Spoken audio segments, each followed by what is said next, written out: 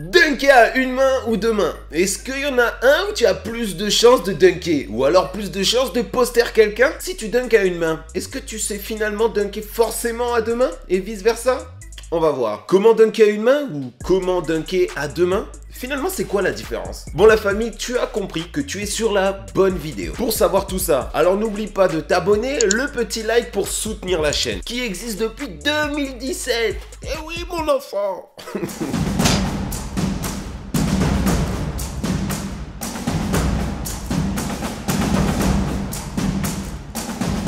Si tu as plus de 18 ans, n'oublie pas qu'avec le code DELTA, d'accord, tu peux regarder des vidéos de basket à gogo, d'accord, et tu peux également recevoir jusqu'à 100 euros suivant ton premier dépôt, hein, si ton pari est gagné ou perdu. Donc c'est juste magnifique, je te mets le lien juste en bas, et cette fois-ci, ce lien, il fonctionne.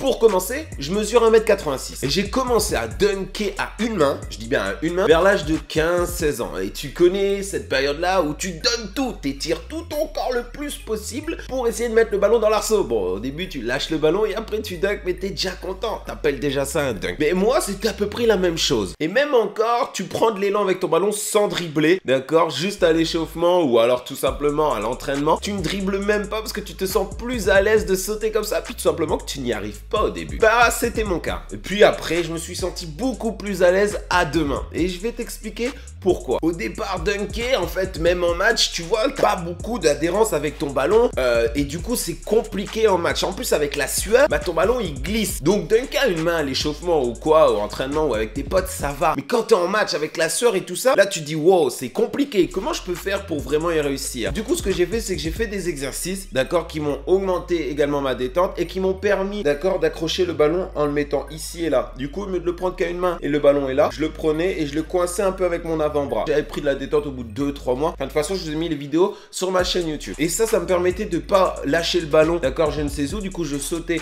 à une main, là, elle était bloquée. Et au dernier moment, je relâchais et j'ai accompagné. Et puis, il y avait un bon petit dunk. Voilà. Mais très vite, quand j'ai atteint la hauteur euh, pour faire ça, bah, j'étais beaucoup plus à l'aise à le faire à deux mains. Et du coup, bah, je me suis entraîné pour le faire à deux mains parce que c'est pas venu naturellement. Et grâce à ces exercices, je me suis retrouvé à le faire à deux mains et plus naturellement. Si tu te poses la question s'il est mieux pour toi de dunker à une main ou alors deux mains, bah, déjà, chaque personne est différente. Je te conseille de dunker de la manière où tu es le plus à l'aise. Et pas forcément de chercher la façon où c'est le plus stylé. Car ton corps assimilera peut-être plus facilement le fait de dunker à deux mains et d'autres pour eux ça sera hyper compliqué. Si tu devais choisir, tu préfères dunker à une main ou alors deux mains? Mets-moi ça au passe commentaire, ça m'intéresse trop. Et oublie pas le petit like pour soutenir la chaîne YouTube. hein. Donc si tu es plus apte à dunker à une main, alors fais-le vraiment proprement, habitue-toi à ce geste, mais très vite, viens prendre le goût de le faire également à deux mains parce que tu verras que c'est très très important pour le basket et pour la suite. Et il faut savoir les deux. Et je vais t'expliquer dans la vidéo pourquoi. Alors c'est pour ça, reste bien jusqu'à la fin. Tu as plus de chances de réussir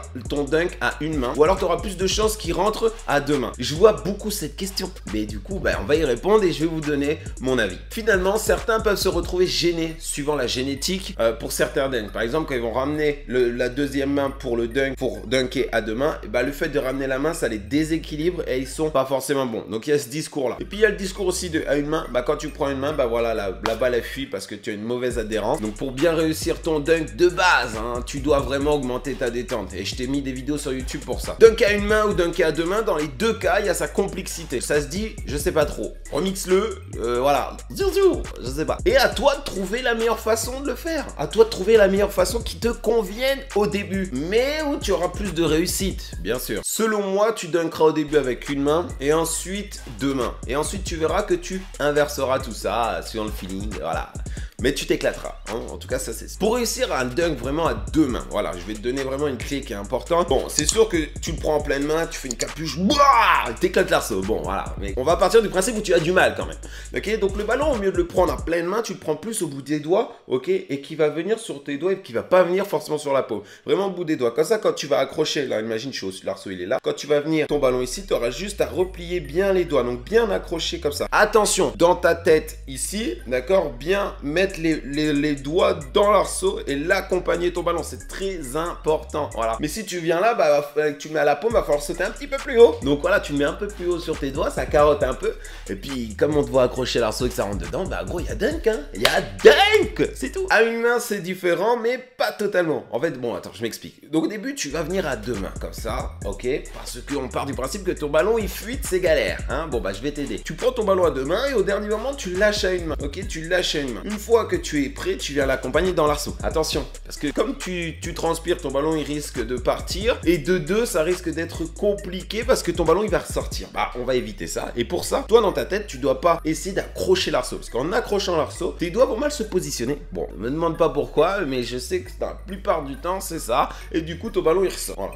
Donc, moi, je te conseille réellement, d'accord, c'est quand tu viens dunker à une main, ok, à l'arceau, de venir au mieux d'accrocher directement l'arceau pour que ça ressorte, de venir, hop, pousser avec tes doigts et de faire en sorte d'imaginer que tu veux vraiment que le ballon rentre à l'intérieur. Pas te focaliser sur l'arceau, te focaliser sur la rentrée du ballon. Et ça va t'aider, ça va t'aider, Diego, c'est sûr. Non, bon, voilà, plus sincèrement, ça va vraiment t'aider. Pour dunker sur la tête de quelqu'un, il est mieux de le faire à deux mains. Il y en a qui vont te dire ça, parce que ton ballon, tu le tiens plus fort et pour t'enlever le ballon, c'est plus compliqué. Ou alors, à une main, bah en fait, ton ballon, tu l'emmènes plus haut et tu auras plus de puissance quand tu vas le claquer. Donc c'est difficile pour le défenseur de le prendre. En gros, les deux discours, ben ils se tiennent. Du coup, il faut savoir dunker des deux mains et d'une main. T'as compris les petits... Parce que c'est très important suivant la situation que tu vas te retrouver au basket. Donc au départ, lance-toi sur ce que tu es le plus à l'aise et viens t'emmener sur l'autre chose qui te manque, tout simplement. Et tout en travaillant ta détente. Donc n'aie pas peur, une main ou deux mains, peu importe. Après, de toute façon, il existe des moulins à deux mains, des moulins à une main, des riders à une main, des riders... C'est un peu plus compliqué à deux mains, mais il existe plein de dunks stylés, que ça soit une ou deux mains. Mais tout simplement pour ta réussite, focalise-toi sur ce que tu sais faire et développe beaucoup plus. Et de toute façon, cette vidéo et les autres vidéos sont faites pour te faire progresser et elles sont gratuites. Alors euh, bon, profites-en, à moins que tu préfères qu'elles soient payantes. Mais fais vite, car je viens bientôt en forme. Et si je reviens en forme et que je te croise sur le terrain, eh bah gros, je vais dunker sur la tête. Donc si tu es pas prêt à sauter pour me contrer, ou toi aussi dunker, euh, bah je vais te dunker dessus. Donc va vite te préparer, va vite t'entraîner mon coco, sinon ça va faire mal. Je, t'aurais prévenu. J'ai kiffé vous partager ça. Et en tout cas, on a un serveur Discord où justement on partage tout ça. Donc il y a des grands joueurs, il y a des coachs, il y a des arbitres, il y a de tout. Euh, on est vraiment beaucoup, donc on t'attend. D'accord? Il y a ta place, il y a ta petite place. Euh, voilà. Puis t'es pas encore là, donc euh, magne-toi, hein. C'est tout, hein. En attendant le petit pouce bleu, abonne-toi, soutiens la chaîne comme ça, ça fait grave plaisir en tout cas. Les cocos, on se rejoint à la prochaine vidéo. Donc la Delta Family, courez vous entraînez pendant qu'il y en a qui dorment. Comme ça, vous verrez leur dunkerai dessus. C'est tout. C'est tout pour le moment, je dis.